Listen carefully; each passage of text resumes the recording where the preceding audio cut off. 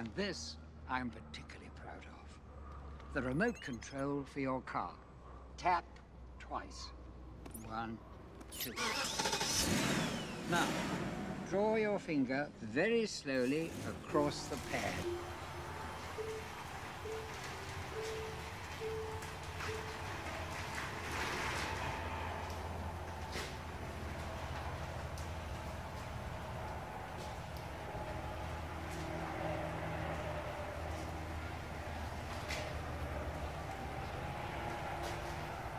Mm-hmm. Well, let's see how she responds to my touch, AQ.